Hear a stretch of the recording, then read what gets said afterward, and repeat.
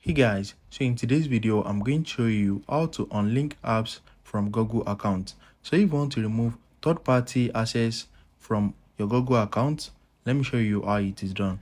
So the first thing is open up any browser on your phone. You can also do this on your Android device.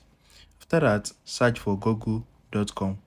Once you search for google.com, log into your Google account. Once you log into your Google account, click on your profile icon at the top right corner. Once you click on it, you need to click on manage your Google account. Once you click on manage your Google account, scroll in this menu and click on security. Once you click on security, scroll down and you're going to see the option for third-party apps and services. So click on see all connections. Once you click on see all connections, you're going to see all the apps that you have linked with your Google account.